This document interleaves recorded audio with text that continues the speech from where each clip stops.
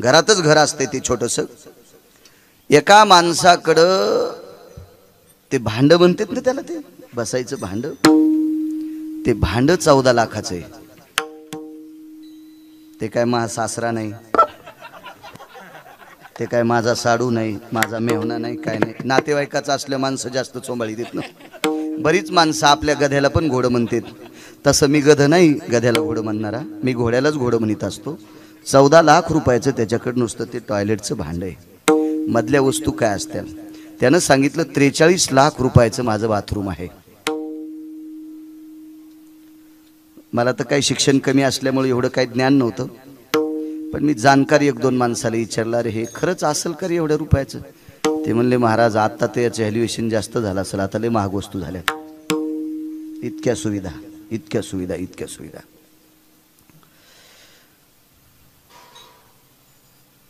मी विचारलं एवढं काय याच्यात? काय नाही म्हणे तुम्ही बसता का? म्हणलं मला नाहीच तर बसू कसा? ते काय हौसान बसायचं थोडंच असतं का काय काय विषय? नाही म्हणे पाय धुवा. आता पाय तर काय धुवा म्हणलं चांगले पाय आहेत माझे पण धुवा म्हणले एकदा पाय. पाय धुतले गुडघ्यापासून धोत्र वरी घ्या आणि गुडघ्यापासून खाली पाय धुवा. म्हणलं टावेल पुसायला द्या. टावेल नको म्हणले. ते बटन दाबा.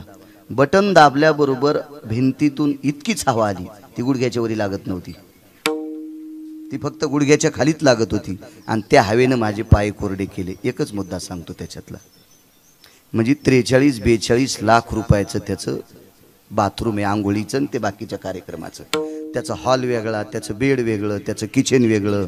हो त्याच्या किचनमध्ये धुपंजाची ती चिमणी फार महागडी होती. विदेशी वापरली होती त्यानं. अशा सगळ्या गोष्टी त्याचे भांडे गिंडे सगळे असं खूप काही मोठं. एवढं मोठं त्याचं बाथरूम होतं त्याला सांगितलं बाळा मान्य त्रेचाळीस नाही एक कोटीचं तुझं नुसतं आंघोळीचं असेल पण तू मेल्याच्या नंतर पोरं तुला याच्यात आंघोळ घालीत नाहीत हे लक्षात ठेव. त्याला माहीतच नव्हतं बाळू महाराज किती रगिले म्हणून. त्याला वाटलं पाकिट देतो म्हणजे हे आपल्या अंडरवेली धुईन. कसा धुईन मी? विठाला विठाला विठाला. विठाला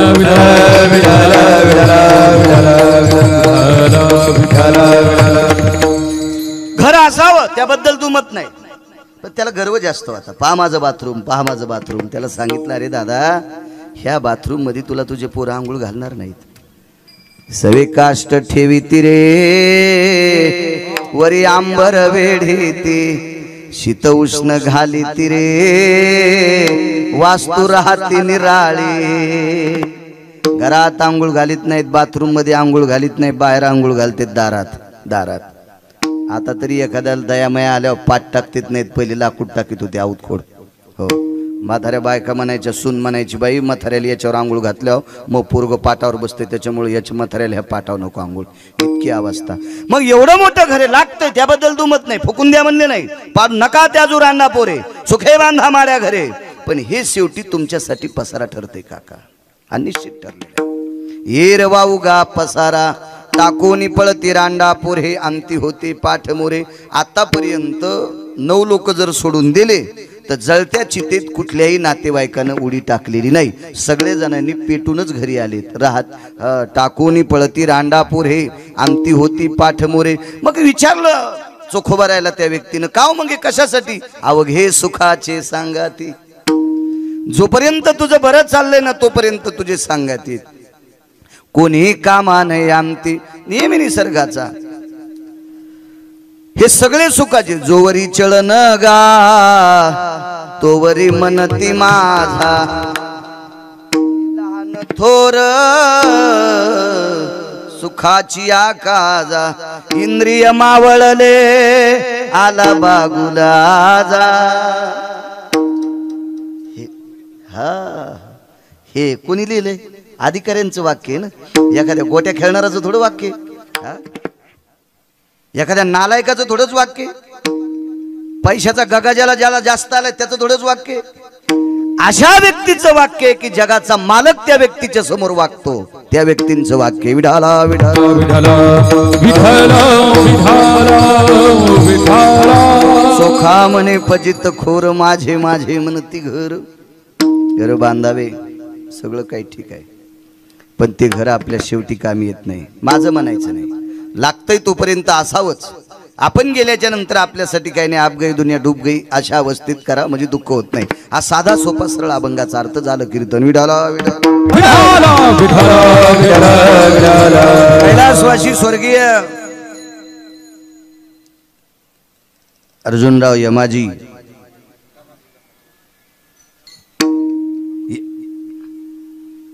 काय? घमाजी. हो. अर्जुनराव घमाजी हंडोरे. हे विश्वात्म्यात विलीन झाले. जगाच्या मालकाच्या सानिध्यात विश्वाच्या मालकाची निरोप आला त्या मालकाच्या निरोपाचा जबाब शरीर सोडावं लागते. त्या अनुषंगानं त्यांची हे लोकातली यात्रा संपली. ते कैलासवासी वैकुंठवासी सत्यलोकवासी गोलोकवासी झाले. त्यांच्या प्रित्यर्थ आजचा हा पुण्यस्मरणाचा कार्यक्रम.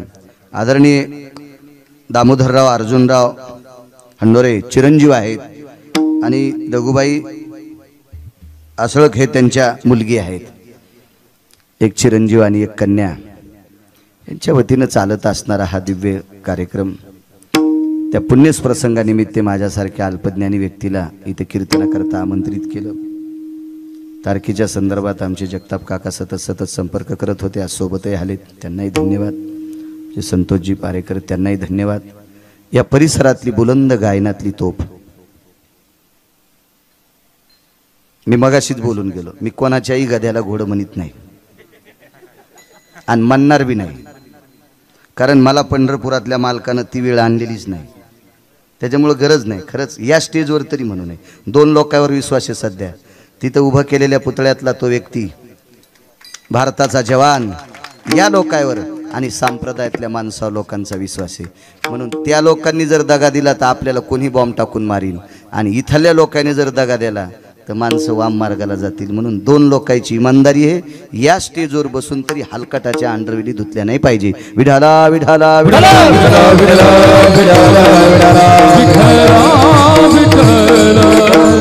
साहेबांचं नाही. खूप खूप आवाजावर प्रभुत्व आहे. या परिसरातली बुलंद तोप गायनातली आमचे जगदाळे आबा. आणि आबा चार दोन चार ठिकाणी प्रसंग आला महाराजांचा. प्रकाश महाराज खूप खूप खूप तू खूप अगदी मस्त. आज योग कसा आला माहिती आहे का राग येऊ देऊ नका. सारखे वयला असले आऊत चांगलं चलत. पुन्हा तुम्हाला हे म्हणते बाळू महाराज तुम्हाला बैल म्हणले. मी उदाहरण द्यालो हा. हे त्याच्यामुळे आधीच म्हणालो राग येऊ देऊ नका. माणसं काय म्हणते वर्णन केलं पण तुम्हाला बैल म्हणला ना. अशी इचकी- काही कायला काड्या घालायचंच काम आहे. पण पट्ट्या भोकाट ठुतत नाही कोणी काडी घालण्यासाठी. विठाला विठाला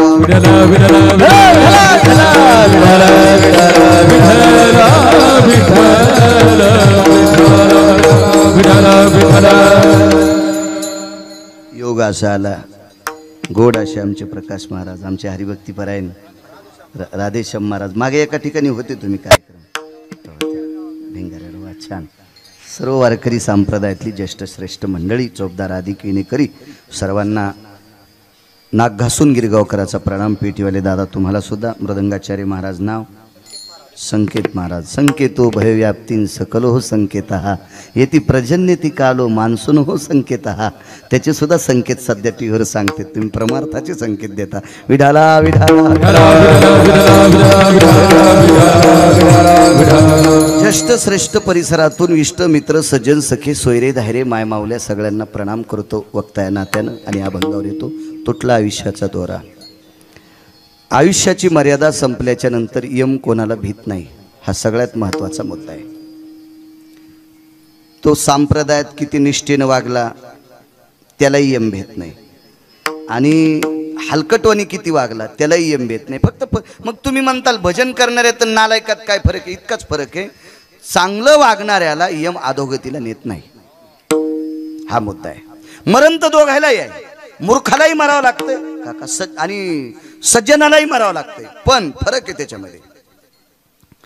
सज्जन माणसाला सद्गतीला यम नेतो आणि मूर्खाला मात्र अधोगतीला नेतो. आणि दुसरी गोष्ट लक्षात ठेवा. परमार्थाच्या टोकाला पोचलेली लोक यांना मरण आणि जन्म याचा काही संबंधच नाही. हे भीतत नाहीत ना मरणाला काही वाटतच नाही त्यांना. कारण त्यांचे जन्माचीन मरणाचा काही विषयच नाही अठरा लोकांचा. काही प्रश्न नाही त्यांना. त्याला माहिती आहे आप त्यांना माहिती हे आपलं शरीर गेलं की आपल्याला पुढं कामाला दुसरीकडे लागायचंच ते काही निमित्तानं ती सारखी येत राहतात त्यांचं ते फिरत राहतात. मरणाची भीती तुम्हा आम्हाला आहे जन्ममरणाची भीती तुम्हा आम्हाला आहे इथं संतांचा जर विचार केला तर सुके घाला गर्भवासाचं दुःख सुद्धा तुकोबर आहे म्हणले आम्हाला त्याच्याबद्दल काही नाही. कसल्याही प्रकारची काही चिंता नाही. सुखानं आम्हाला गर्भवासाला घाल. आम्ही तेही भोगण्यासाठी तयार आहोत. आणि मरणाची मरण माझे मरून गेले. मज केले. आमर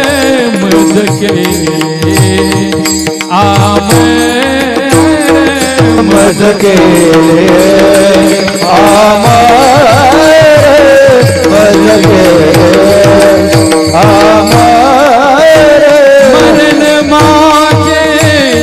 मरुनी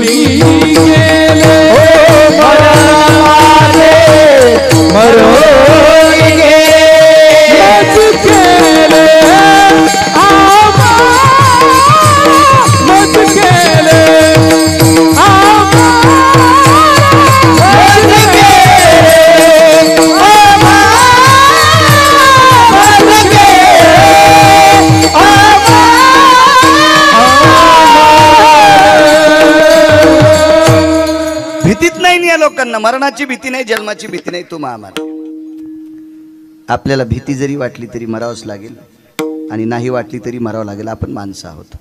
किती मोठ्या लोकांना जावं लागतं याची कल्पना करा. आपण त्यांच्या तराजूत बसतो का? याच्याकरता मी तुम्हाला एक पुरावा मांडतो. आबा एक मयूरध्वज नावाचा राजा होऊन गेला. त्या राजाचं नाव आहे मयूरध्वज नावाचा राजा. फार अधिकारी राजा आहे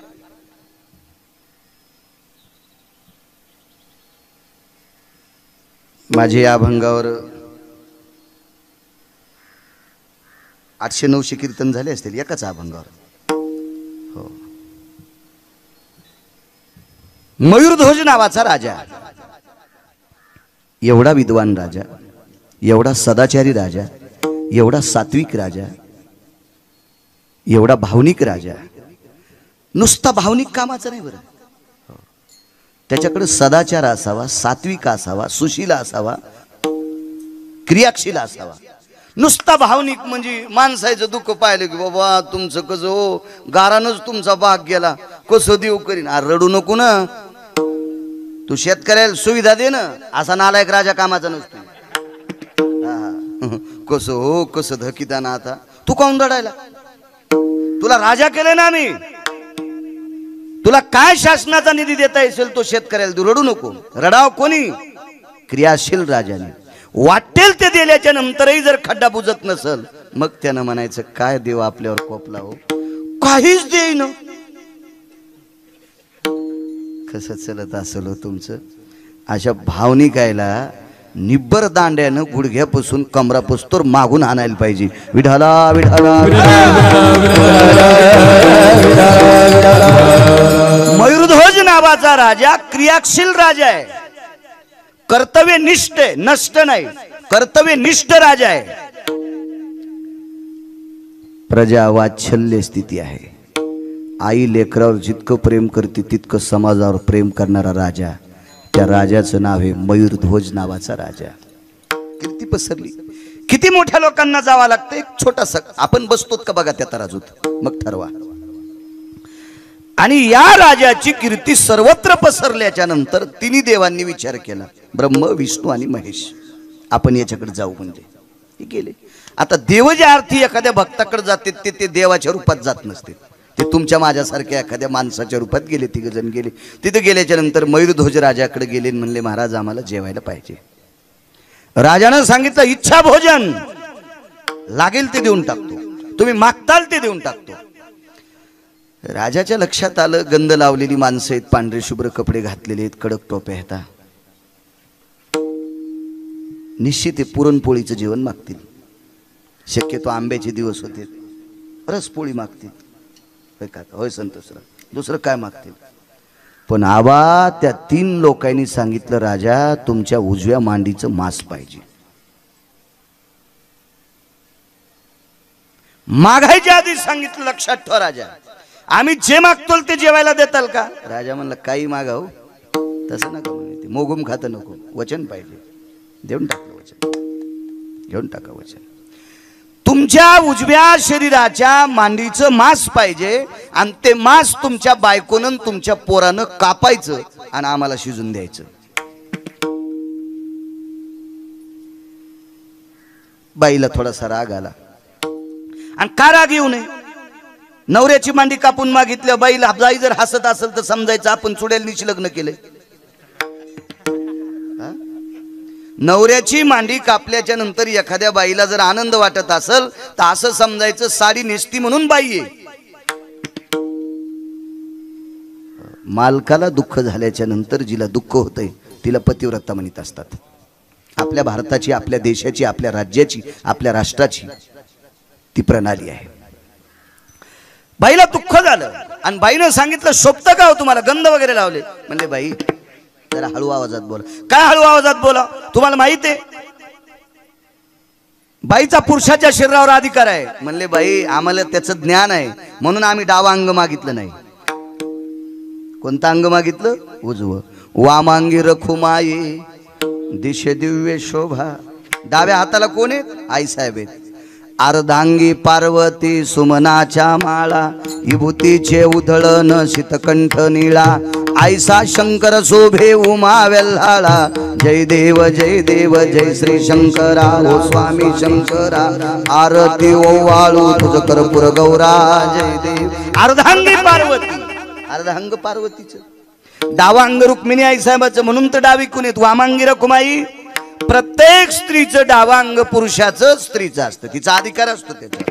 तो जगाचा मालक होता राजे हो. तो काही बी कसं मागेल? हे बाई तुम्ही काही शिल्लक बोलू नका. मी जे अंग मागितलंय ते अंग उजवं मागितलंय. बाईचं बोलणंच संपलं. काय चालेल त्या बाईचं? तुटला आयुष्याचा दोरा सांगतो मुलगा हुशार होता मयूरध्वजांचा या तिन्ही व्यक्तींचं दर्शन घेतलं.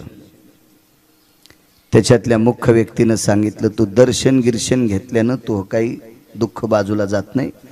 तुला काय दर्शन घ्यायचं तर घे पण जे ठरलंय तेच होईल. याच्या बदल्यात दुसरं काय बदल बसा बसा बसा बसा.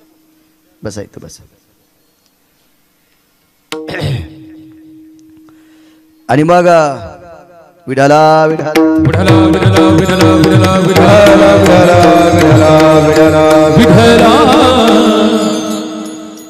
तिघांचं दर्शन घेतलं डोळ्यातून पाणी आलं का रडतोस? काय नाही म्हणे एक काम करा. माझ्या बाबाच्या उजव्या मांडीचं उजव्या शरीराचं मांस घेण्यापेक्षा माझं सगळं शरीर शिजून खा. मी देऊन टाकतो माझं शरीर संकल्प सोडा. देवानं माणसाच्या रूपात असणाऱ्या ब्रह्मांडाच्या मालकानं त्या मयूरध्वजाच्या मुलाला सांगितलं तुला एक वाक्य कळतंय का? तुझ्या बाबांनी वचन दिलं ती वचनाची पूर्तती ऐकलीस का तो? काय तर काय म्हणे? तुझ्या बाबाच्या उज्ज्वल शरीर तुझ्या आईनं तू कापायचंय. असं ठरलंय ना आपलं. मग तू तुझं शरीर का शिजून द्यायलाय? तू कापायचं शरीर. तुझ्या आईनं कापायची उजवी मांडी. आणि तुम्ही शिजवायचं आणि मला द्यायचंय. मयूरध्वजाने मुलाला सांगितलं बाळा चौकटीत अडकलो रे आता. आता काय विषय नाही. करवत आणला एक करवताचं तोंड बायकोनं धरलं दुसरं मुलानं धरलं पायावर करवत टेकला. करवत टेकल्याबरोबर डाव्या डोळ्यातून पाण्याचे दोन थेंब आले. या तिन्ही देवायपैकी एकानं सांगितलं "ए, थांबा रे कापू नका. मयूरध्वजाने विचारलं काय झालं महाराज? काय नाही. ज्याचं ज्याचे डोळे रडतेत का? म्हणजे आम्हाला देत असताना ज्याच्या डोळ्यात दुःख आहे त्याचं मांस आम्ही खात नाहीत. मागणारा लय अधिकारी होता महाराज. लय अधिकारी होता. देणारा बी कितका हुशार आहे बघा बा मयूरध्वजानं सांगितलं महाराज तुम्ही शरीर मागितलंय उजवं. आणि पाणी येतोय डाव्या डोळ्यातून. मागितलंय कोणतं? उजवं. पाणी कोण्या डोळ्यातून येते डाव्या. मग का तुम्हाला त्या डाव्या शरीराचे काय संबंध आहे? तुम्ही उजवं घ्या ना. पण त्या मालकानं सांगितलं राजा आमची इच्छा आहे डोळे कोणतेच रडू नये. कारडते काय विद्वान राजा हवा. त्या राजानं सांगितलं महाराज डावं डोळा याच्याकरता रडतोय. उजवं शरीर तुमच्यासारख्या सात्विक माणसाच्या पोटात चालले. म्हणून हे शरीर कारणी लागायले. पण डाव्या शरीर कव्हा कारणी लागन याच्याकरता डावा अंग रडायले.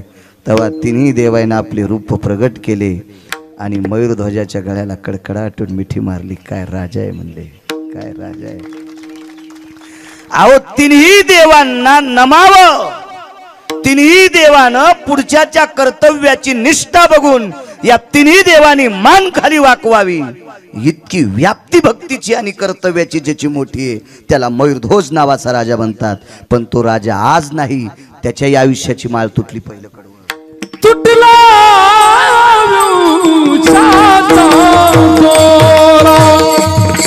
तुटला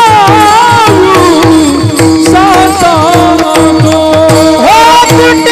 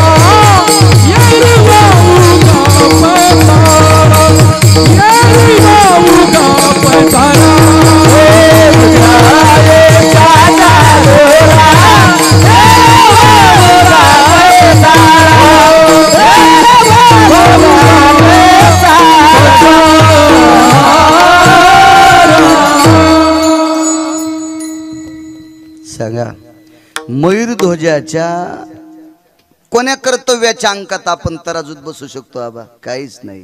तयाची चरण रज धुळी. काय काय ताकद? एवढ्या अधिकारी महात्म्याच्या पायाला चिटकलेल्या मातीच्या कणाची बरोबरी करू शकत नाहीत आपण कणाची.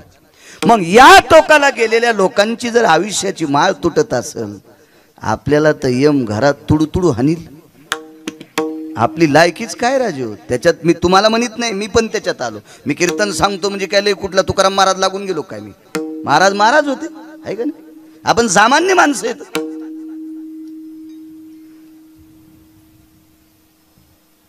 एका बाईच्या पोटात साडेचार महिन्याचा गर्भ आहे. अधिकारी बाई इतकी सात्विक बाई इतकी सदाचारी बाई इतकी पुण्यशील बाई इतकी पावन बाई. जो स्त्रीत्वाचा स्वाभिमान असतो का?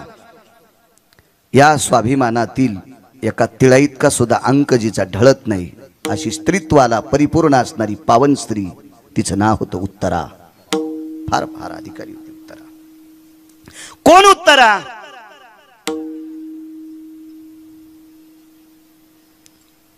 जो झोपी गेल्याच्यानंतर ज्याच्या अंगावरचे रोम कृष्ण कृष्ण म्हणायचे अशा विद्वान माणसाची सून होती ती.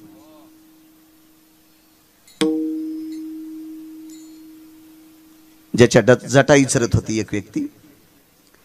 एका व्यक्तीला तहान लागली आणि ती व्यक्ती पाणी आणण्यासाठी गेली आतमध्ये. तोपर्यंत माझ्या मालकाचं डोकं मांडीवर घेता का? असं म्हटल्याबरोबर त्या व्यक्तीने मांडी दिली त्या व्यक्तीचं नाव होतं आबा उद्धव. फार हुशार उद्धव नवविदा भक्तीपैकी उद्धवाचं नाविन्य आलेलं आहे. त्या उद्धवानं त्या पुरुषाच्या डोक्याला मांडी दिली आणि त्या जटा अशा विचरत होता. जटा विचरत असताना त्या घरातून जगताप काका असा मंजूळसा ध्वनी आला. श्रीकृष्ण गोविंद हरे मुरारी हे तुम्हाला कळण्यासाठी हा जप सांगतोय. मुच्छते नति कृष्णानाम द्वापारे च भयंजनो, वृष्णिरोर्भवति तायाम मुच्छते कृष्णाति भयो। यतः सर्वास्ति देवकी श्रुतानाम यत प्रगल्भाति भयो जनः। असं गोड चिंतन त्या डोक्याच्या जटातून येत होतं केसातून. डोक्याच्या जटा होत्या अर्जुनाला केस होते त्याच्यातून.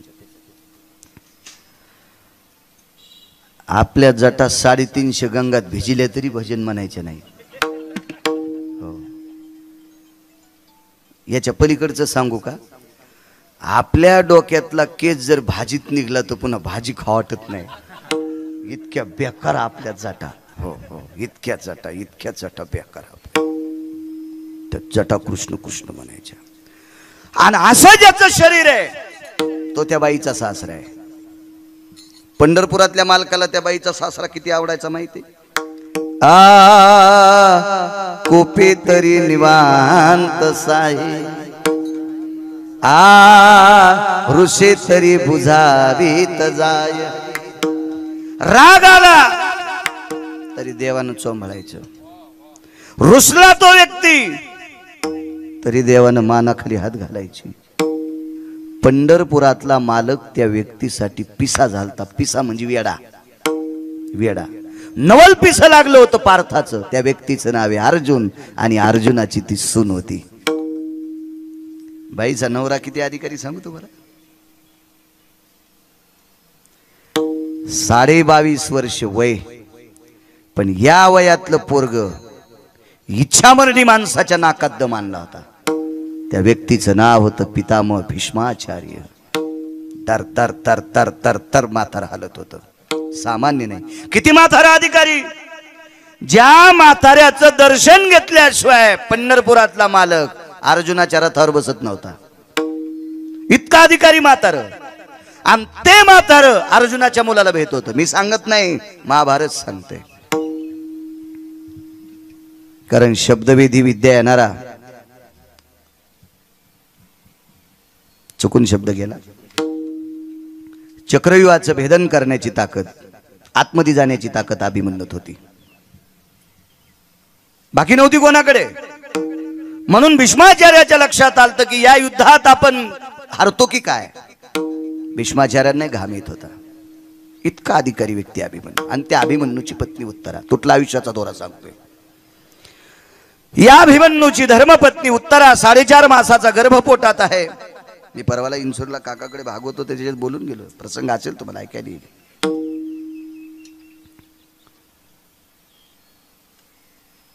तिच्या अंगावर एका नालायक व्यक्तीने ब्रह्मास्त्र टाकला बा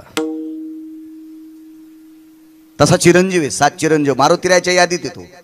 पण आचरणात नाही. रांगेत सगळेच असते बाजारात सगळेच बैल असतात. एका भावाचे असतात का?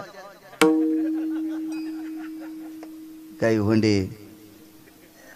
काही फाकड्या शिंगाचे काही खिलार काही कोकणी मसडा पण जाफरी गावरान सिंगाळू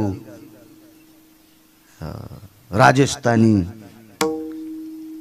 गिरमशी डोळेच दिसत नाही असे बारीक डोळे असतात हो. प्रत्येकाची किंमत वेगवेगळी आहे ना. रांगेत जरी एका असतील तरी पण किंमत वेगवेगळी. हे सात चिरंजीव आहेत पण सात चिरंजीवाचा प्रत्येकाचा सगळ्याचा बॉस माझे मारुती राय. नाथ बाबा म्हणले तुकोबराय म्हणले ज्ञानोबराय म्हणले सगळ्या संतांनी वर्णन केले. एक नंबरचा चिरंजीव. याच्या पलीकडे सांगू का? मारुतीरायानं राम जन्माच्या अगोदर भक्तीचा शोध लावला होता. केली सीता मूळ रामायणा. मग रामायणात नाही तर सीता कुठून? एक जणाला विचारलं कस काय काय सांगायचं बरं का तुम्हाला? आणि पुढे रामायण होणार आहे असे काही काही लोकांना कळालं बरं का? काही काही म्हणजे तुझा आजा होता का? तो नालाय का का तू आज साडू आता तो दिवशी येणार कसं काय सांग तू असं? सीता या शब्दाचा अर्थ भक्ती. हो. भक्तीचा शोध जर सर्वात अगोदर कोणी लावला असेल तर शिवशंकरानं. एका जनार्दनी वैष्णव शिरोमणी महादेव. शिरोमणी महादेव. शिरोमणी महादेव शिरोमणी महादेव। शिरो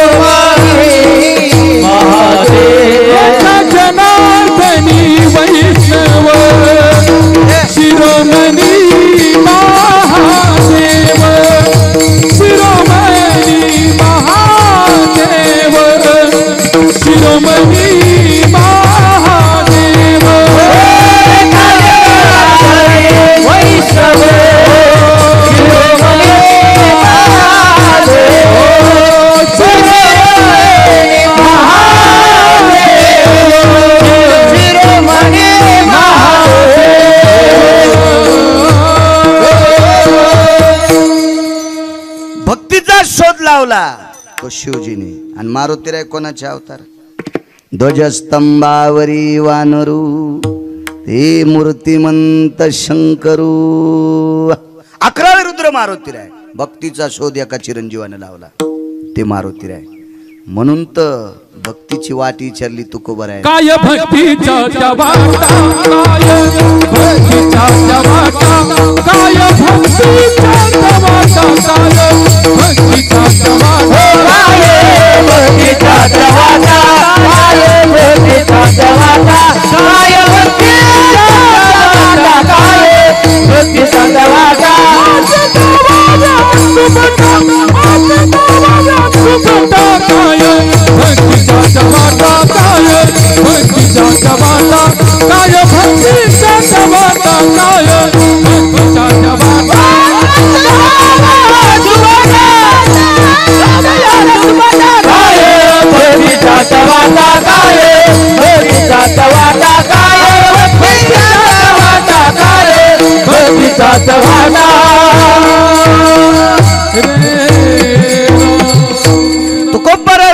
वाट विचारतात. वैष्णवातले वरिष्ठ वैष्णव मारुतीर आहेत प्रकाश तितका मोठा वैष्णव कोणीत नाही. सात चिरंजीवापैकी आगळा वेगळा चिरंजीव. तीनच चिरंजीव सांगतो. चार घरी गेल्यावर पहा ना गुत्त थोडं घेतलं मी आहे का नाही? हो जरी एखाद्याला सांगा वाटेल का हान तू काय आम्हाला म्हणून?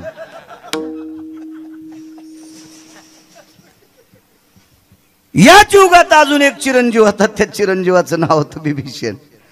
ते बी चिरंजीवाचे बरं का. चांगला होता तसा भजन करीत होता. पण याच्यासाठी करीत होता.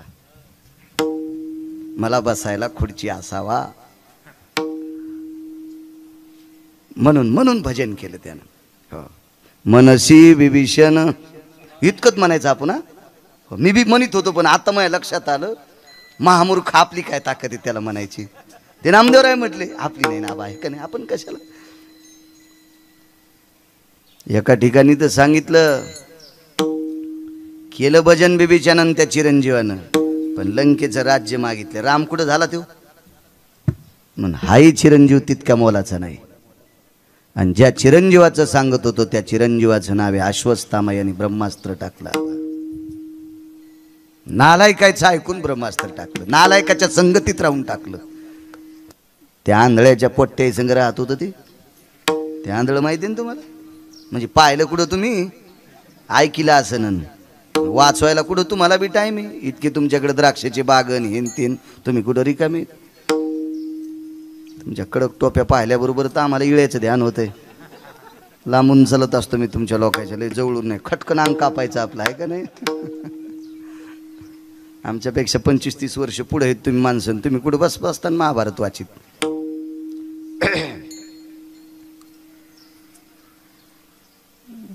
नालायक होती ती शंभर कार्टे? त्याच्या सानिध्यात गेल. नाही तर लय चांगल्या माणसाचं पोरग हो. अरे बापरे. त्याच्या वडिलाचा अधिकार सांगू तुम्हाला? जगात दुसरा होता. जगात दुसरा. जगात जगात. भारतात नाही. पृथ्वीवर जितके देश आहेत तितक्या देशातला दुसरा व्यक्ती. विद्वान व्यक्ती.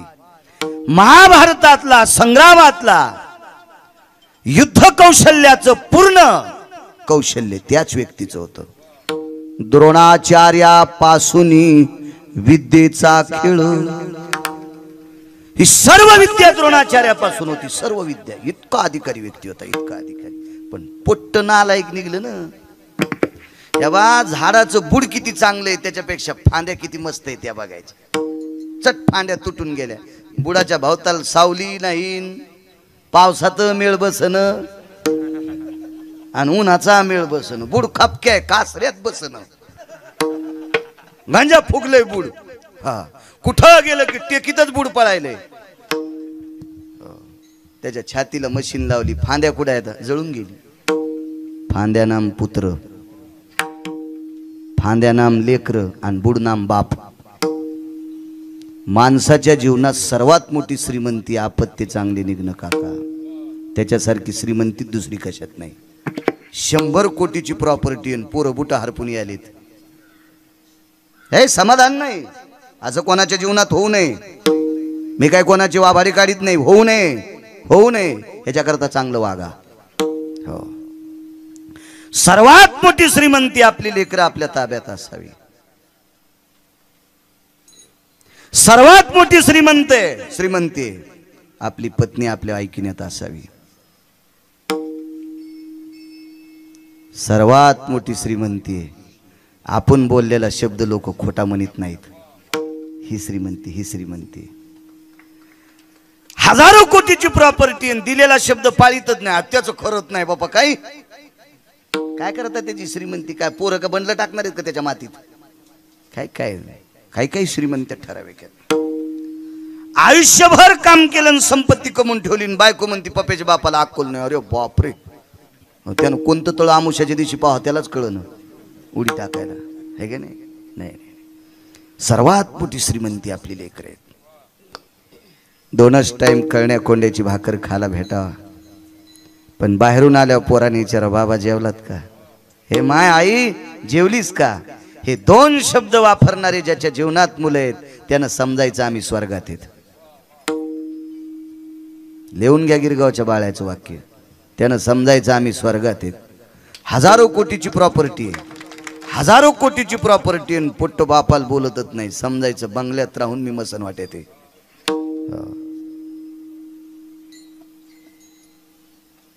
काय वाटत असेल द्रोणाचार्याला?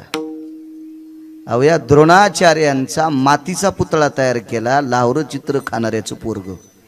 लाहोर सशे रानडुकर खाणाऱ्याचं पोरग. आणि जंगलात मातीचा पुतळा तयार केला जंगलात जंगलात. आणि त्या पुतळ्याकडे बघून साधना केली. जगात तिसरं आलं जगात तिसरं. जगात जगात. तुमच्या तालुक्या जिल्ह्यात याच्यात नाही भारतात नाही जगात तिसरं. काय वाटलं असेल द्रोणाचार्याला? माझ्यामुळं अर्जुन धनुर्धारी आहे. माझ्यामुळं एकलव्य जगप्रसिद्ध झाला. जिथं ज्ञानोबरायनं त्याची दखल घेतली. श्री गुरुचे नावे माती डोंगरी जया पाशी होती. तेने कुळी त्रिजगती एकवद केली. हो त्या कुळाचं मोठेपण वाढलं. प्रकाश बुवा ज्ञानोबराय दखल घेतात. हा काय सामान्य ताकद आहे का काय? मग एवढी मोठी अधिकार शक्ती असताना माझाच मुलगा कसा हलकट? हे द्रोणाचार्यांना दुःख होतं. असं जाऊ दे. अस्त्र टाकलं. मला तुटला आयुष्याचा दौरा सांगायचा का बाईच्या अंगावर त्या अस्त्राचा प्रयोग केला? बाई हुशार होती कशी हुशार सांगू का तुम्हाला? आलेल्या सुनानं ज्येष्ठांना विचारावं आलेल्या सुनानं घरातल्या ज्येष्ठ लोकांच्या पुढं वाकावं. म्हणजे सतत पाय पडणं याला वाकणं म्हणत नाही त्यांचा सल्ला घेतल्याशिवाय काहीच न करणे याचा अर्थ आहे वाकणे. हो. बरीच लोक गर्दीत पाया पडून खिसा आणतात. आपल्याला वाटतं हे पाया पडायला आणि नंतर कळत खिसा गेला घरे. असं होतं ना ते. कधी कधी चूक ठरतील. पाय पडणारी फारच चांगली असतात असं काय नसते. शब्द वलयात ठेवून त्या शब्दाचे आचरणात आणणं याला म्हणायचं नम्र. हुशार बाई होती. तिनं आपल्या सासूबाईला विचारलं. तिला सासा होत्या चार. चार सासा होत्या. अर्जुनाला बायका किती सांगता येतील तुम्हाला? किती महाराज फुकल्यावर सुधरत आणि पहिली मला गोळी घाला. दम नाही ना हो कीर्तनायला. भागवतायला दम नाही रामायणाला दम नाही कीर्तनायला दम नाही प्रवचनाला दम नाही. तुम्हाला का गुण याचा नाही तुम्हाला येऊ बी नाही. तुम्हाला गुण आल्यावर आम्हाला नाशिकला जावं लागेल गट उचलायला. तुम्ही असेच चोर पंक्चर झाले पाहिजे. महाराज येत राय खपक्या पाकिट नेत राय. आम्ही तसेच रुमाल झटकल्यावर. अभंग काय का नाही होता? लक्षात ठेवलं पाहिजे राजू. तुम्ही जितकं लक्षात ठेवतान का तितके आमचे अभ्यास करतील. हो. आदरयुक्त भीती वाटली पाहिजे आबा माणसाला. तेव्हा पुढं असे चिकित्सक लोक असले पाहिजे असे चिकित्सक असले पाहिजे की बाळ्यानं पुन्हा पुन्हा अभ्यास करून अभंग एकच घेऊ द्या पण चिंतन बदलू द्या. हो, असा अभ्यास करायला पाहिजे. तुमच्या लक्षात नाही राहिले आमचं चलतं पुन्हा तेच मग. लक्षात ठेवायचं. चार पत्न्या होत्या अर्जुनाला. तरी एक नाव सांगणार नाही मी. ते तसं ठोतच असतो मी. माणसं कामाला लागा हो. हो हो. आमची इथे एक माणूस होता सगळे पैसे कहत देत नव्हता. त्याला माहीत होतं सगळे दिलं की उद्या कामाला येत नाही. ते रोजदारीतले शंभर दोनशे ठोचाच म्हणजे ते त्याला पक्क लक्षात होत. म्हणलं का कस काय देत नाही? तुझ्या ध्यानात नाही बाळ्या. हे पुन्हा उद्या येत नाही ना. आणि त्याला माहिती आहे दुसरीकडे गेल्यावर हे देत नाही. तसं ते तितकं ठोत असतो मी. मग काय तसं काही विषय नाही पण तुम्ही काहीतरी वाचावं ना याच्याकरता ठोत असतो. उलपी नावाची पत्नी होती अर्जुनाला. उलपी. आणि दोन तर माहीतच आहेत तुम्हाला. सुभद्रा आणि द्रौपदी. एकीचं नाव उलपी उलपी. चौथी कोणती होती बघा ना घरी गेल्यावर. भीमाला किती होत्या त्या पा. भीमाच्या दोन सांगू का तुम्हाला? हिडिंबा एक आणि द्रौपदी एक. बाकीच्या? बघू घरी गेल्यावर. विठाला विठाला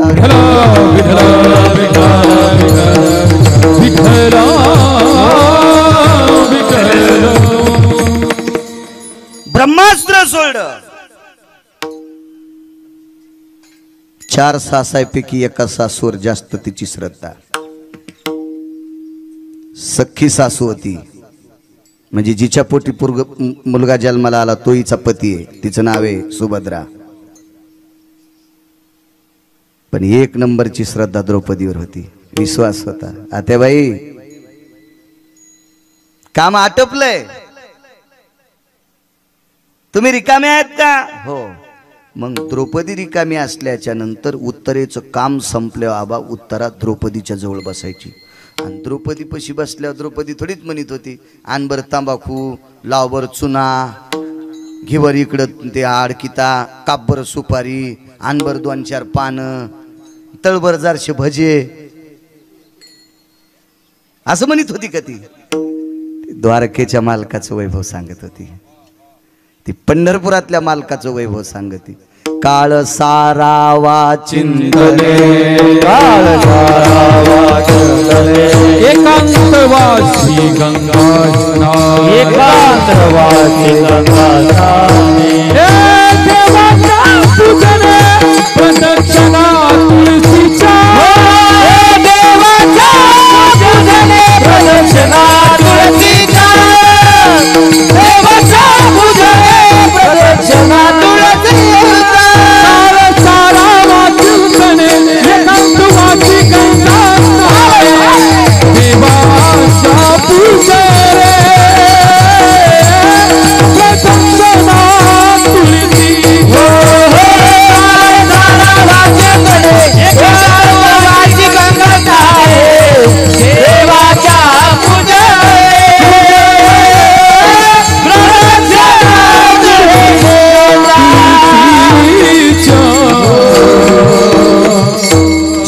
माणसानं वेळ भेटन का? तो वेळ चिंतनात सारायचा. बघ काम बंद करून भजन करू नका बरं का. कामामध्ये काम.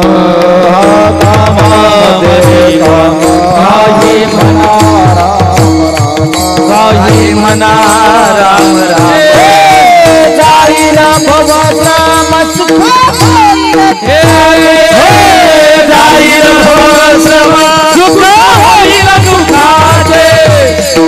जाईल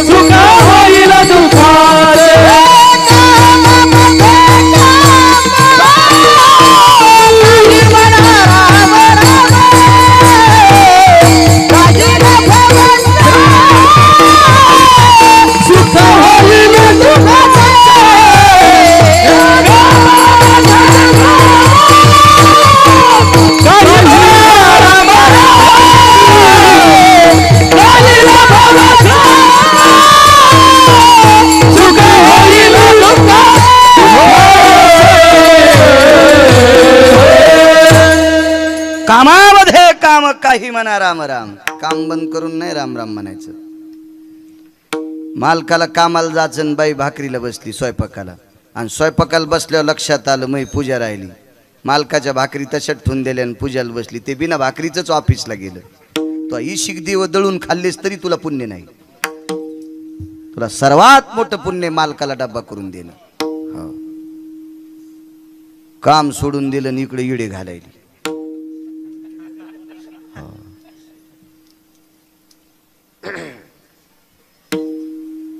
पोराची माय स्वयंपाक करू लागली. आणि पोरगा आजीला म्हणलं आजी मा डब्बा भरणं मी कपडे घालतो तोर शाळेला जायचं होतं. आजी म्हणली बस. मी तुळशीला ये माय प्रदक्षिणा राहिल्यात. अशा कव्हा बी डबा भरायच्या टायमाला हिच्या तुळशीच्या प्रदक्षिणा असायच्या. ते पोरग कव्हा शिकायचं नापासच व्हायचं. हो. ते इतकं पोरग मोकार झालं आणि ती आजी मला भेटली महाराज मग ना तुलेच मोकार झाला. म्हणलो तुझ्या मुंडक्यावर ट्रॅक्टर घालायला पाहिजे त्यांना. त्याच्या शाळेच्या डब्बा भरायच्या टायमाला तू हा देव देव चलत होता ना?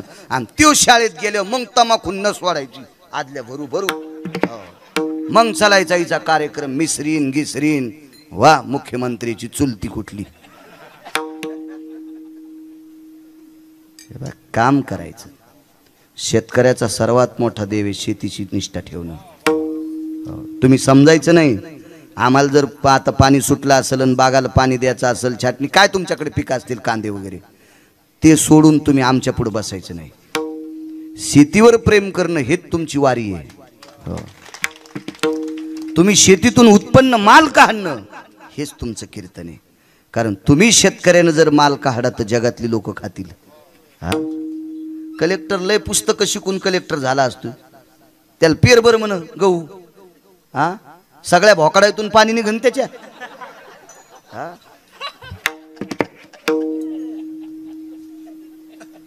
त्याला खर बरं म्हण काका खरड छाटणी.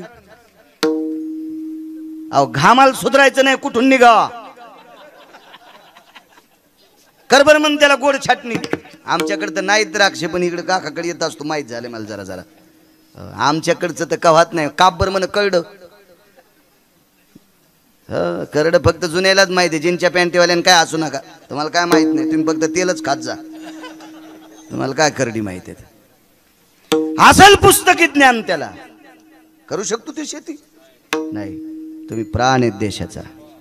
हो. मी वापरीत असतो. ज्या व्यक्तीचा तुम्ही फार मोठा आदरयुक्त पुतळा उभा केला हे एक आपल्या क्षेत्रातले तिसरे देव येतं हो.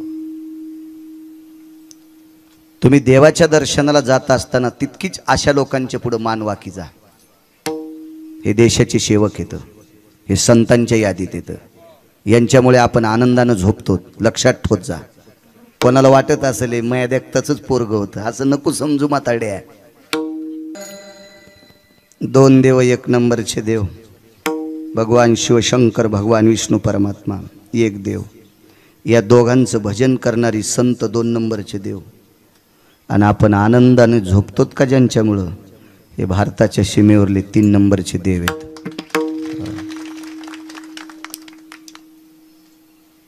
देशातलं सर्वोच्च पद असतं ना?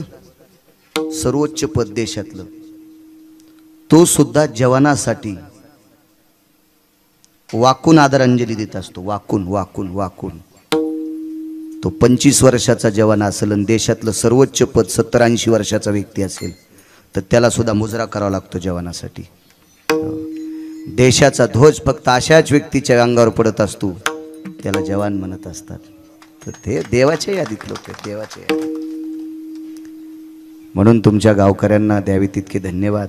आणि माझा चौथा देव आहे ज्याच्या रक्ताचा घाम तयार होतो ज्याच्या रक्ताचा घाम तयार होऊन काळ्या मातीत पडतो आणि काळ्या मातीतून तुम्हा आम्हाला जगण्यासाठी मोती तयार होतात हा शेतकरी राजा चौथ्या क्रमांकाचा देव आहे. हो. आपल्या वाट्याला आलेली सेवा ही भजन म्हणायचं आपल्या वाट्याला आलेली सेवा हे कीर्तन प्रवचन रामायण व्याख्यान वारी समजायची वारी समजायची. कर्तव्य हा सर्वात मोठा परमार्थ आहे. काम आटपल्याच्या नंतर बाई सासूच्या जवळ बसायची इथपर्यंत आलतं ना आपलं? हो. मी एस टी लांबून आणतो आबा पण बस स्टँडला नेतो. हो, एस टी लांबून गेली असेल तुम्ही म्हणला असेल आता ही सरत का काय? नाही नाही बस स्टँड हुकू देत नाही मी. हो. काहून लांबून आणतो माहितीये का? डिझेल बाहेरचं आहे ना? घरचं डिझेल असले माणूस शॉर्टकटचा विचार करते हा काय करायचा विचार त्याला? द्यायचं तेल देईल आणि भूते आला गाईला. काय ताण घ्यायचं लांबून एस चला. द्रौपदी आई साहेबाच्या सानिध्यामध्ये माझ्या उत्तर आई साहेब बसायच्या आणि मग द्रौपदी मातेनं नाना प्रकारच्या आख्यायिका पंढरपुरातल्या मालकाच्या आठव्या अवतारातल्या सांगायच्या. आज तो प्रसंग आलाय. साडेचार मासाचा गर्भ पोटात असताना अश्वस्थामाने ते ब्रह्मास्त्र सोडलं. ती आरडली ओरडली पळाली गिळाली काहीच नाही. बाई आता कसं होईल? माय मी जळते. बाई कसे असं नाही वळली ती. अहो लोयच रडायचा नात काय काय बायाला. सासू बाहेर जावा नवरा कामाला जावा. आणि सासरा शेतात जावा. आणि शेजारीन घरी यावा. इतकी दोरकी रडती. शेजारनी पशी काय सांगायचं काकू? मग मलाच माहिती आहे. कशी कशी राहिली? राहिली? मलाच माहिती आहे बाई मायबापाचं नाव करण्यासाठी राहते. काय माही सासू मला त्रास देते काकू. इस्त्यावानी त्रास देते. आणि कोणापाशी रडायली माहितीये का? जिनं तिन्ही सुना आडात ढकलल्या होत्या. अरे तिच्या पैशी रडायली तू दोरके तू या गोळ्या संपल्या का काय? तू दुःख तरी अशा व्यक्तीला सांगणं जी तू दुःख मिटवीन नाही तर पोटात ठेवीन. जिनं तीन सुना जित्या मारल्यात तिच्यापाशी तू काय सांगायची? रड जाऊ नका. तुम्हाला बाळ्याची शपथी गिरगावच्या. देवाला हाक मारायची काय पांचाटा पुढे रडायचं? आणि ज्या नालायकाच्या पुढे रडतात ते तुमचं काय चांगलं करणार आहे रडाव संतांच्या पुढे. रडाव देवाच्या पुढे. माणसाच्या पुढे रडून काय फायदा आहे? यायच्या डोसक्याला केस कमी इतके दुःखानं बरबटली ती. आणि त्याच्या पुढे काय रडायचे? अधिकाऱ्यांच्या पुढे रडलं पाहिजे. उत्तरेनं विचार केला आता रडण्यात काम नाही. द्रौपदी नावाच्या सासूनं सांगितलेला उपाय जाऊन मग पंढरपुरातल्याला हाक मारली. द्यावं यावं लागतंय. सूक्ष्म रूप घेतला आबा. श्वासातनं प्रवेश केला. उत्तरेच्या गर्भात गेला. ब्रह्मास्त्र तिकून आलं आणि सुदर्शनामध्ये विलीन झालं. उत्तरा वाचलीन पोटातलं वाचलं. मला तुटला आयुष्याचा दौरा सांगायचा आहे त्याच दिवशी अर्जुनाची सून आणि अर्जुनाचा नातू त्याच दिवशी मरत होता. त्याच दिवशी अभिमन्यूची पत्नी आणि अभिमन्यूचा मुलगा त्याच दिवशी मरत होता. पण वाचीला पंढरपुरातल्या मालकानं गर्भात जाऊन पुढे तो जन्माला आला. भारतीय संस्कृतीतला दोन नंबरचा राजा आहे तो. एक नंबरचा राजा होता भरत आणि एक नंब दोन नंबरचा राजा आहे परीक्षिती. भरतासारखा राजाच झाला नाही. भरतासारखा सार्वभौम राजा झालाच नाही. भरतासारखा पूर्ण मीमांसकातला निष्ठ स्थितीतला राजा झालाच नाही. म्हणून त्या राजाचं जे नाव होतं का तेच नाव या देशाला पडले भारत देश. इतका पुण्यशील राजा. त्याच्यानंतर हा परीक्षिती लय श्रीमंत हो, लय श्रीमंत. काही काहीला जरा जोरा पैसे असल्यावर कोणाला राम राम घालीत नाहीत. हो. आणि मग ह्यो मथारा झाल्यावर लोक जवळ जात नाहीत. मग फोन लावतो रामभाऊ आहेत का? काय? या ना. हा हा, आवाज येईन. आवाज चटी आलाय तू हा पण तू तरुणपणात नाही कोणाला बोलला सोंबळ्या आता तुला कसे बोलतील? हो. आमचं एक पाहुणं जरा पैशानं जरा बरं होतं. हो, लग्न कार्य त्याच्यात त्याच्यात आकड्याची काठीण गिटीन असं जसं असं चालायचा. हो जसा दारू प्यायला हत्ती हो, पूर्वी राजे महाराजे हत्तीला दारू पाजित होते. हो, मग मदोन मत्त कुंजरा मध्यातयाची उजगरा ऐसा कुंजरोस्ती असं शास्त्र आहे त्याच्यासाठी. पाजित होती ना काही नालायक राजे? हो एका नालायक राजानं पोराला मारण्यासाठी हत्तीला दारू पाजली. एका नालायक राजानं स्वतःच्या पोराला मारण्यासाठी हत्तीला दारू पाजली. हिरण्य कश्यपू विठला विठला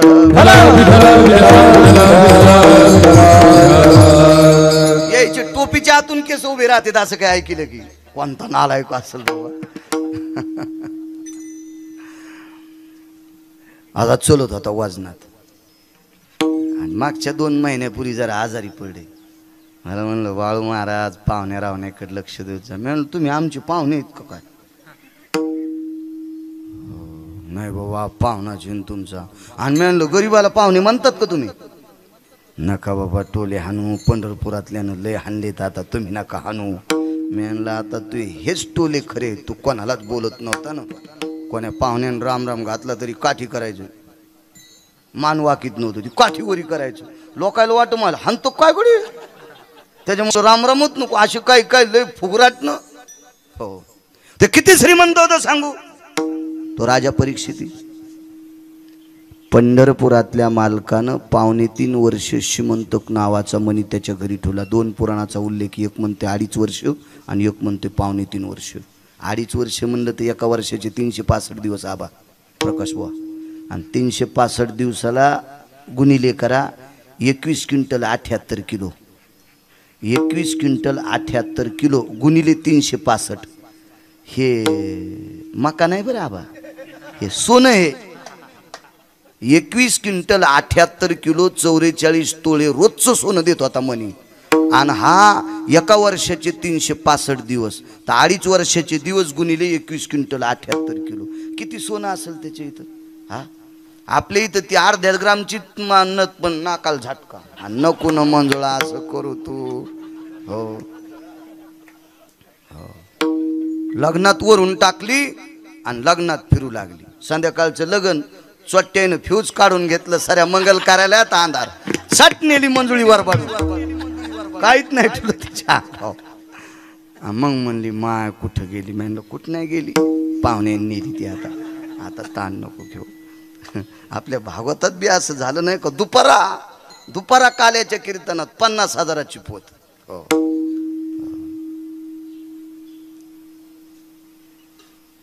वरून टाकी जाऊ नका पोती आतून ठोत जा. या बा आता झाकायला आता कीर्तनात कशाला चोर येते ना हाय का नाही? चोरले हुशार असते ताबा. आम्ही एकदा मी औरंगाबादला नोकरीला होतो.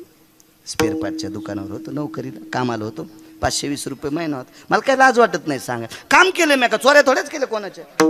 काम केलं. आणि काम करत जावं माणसानं. एसटीत बसलो नगरला चाललो होतो औरंगाबादून तर एका माणसाच्या अंगावर कपडे गिपडे चांगले मस्त जरा गर्दी झाली काही उभे माणसं बसलेले ते लगेच म्हणला अरे सावध राहा चोरायपासून ह्यो चोर होता. सावध राहा चोरापासून म्हणल्याबरोबर लोक आपापल्या खिशाला हात लावू लागले. यानं पक्क ओळखिलं कोणाचे पैसे कुठे येत हो. माझ्याकडे पावणे तीनशेच होते पण मी कपात ठुलते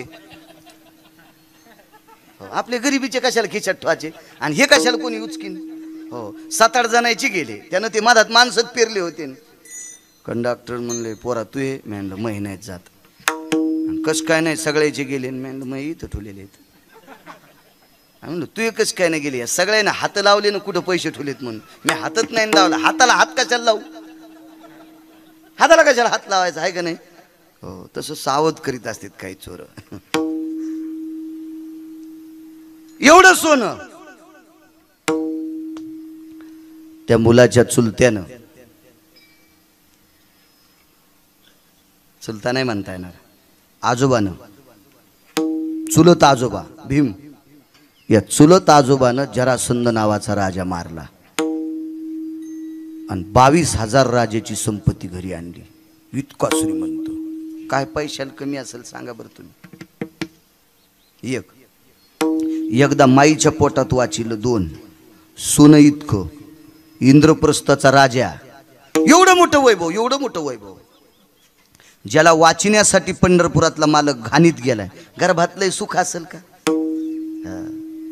नाकी तोंडी कुर्मी हो. कुर्मी कुर्मी अशी ती बारीक किडे असतात ना चौकून चौकून चौक विष्टा लेप चहूकडे सगळ्या बाजूनं विष्टा लेप कुर्मी किडे. काय त्या गर्भवासातलं सुख असेल? पण त्याच्यात जगाचा मालक गेला. त्याच्यात त्याच्यात किती श्रद्धा असेल त्या व्यक्तीवर जगाच्या मालकाची पण एके दिवशी तक्षक नावाचा सर्प दंश झाला आणि त्याची आयुष्याची माळ तुटली म्हणून पुन्हा पहिलं कडव तुटला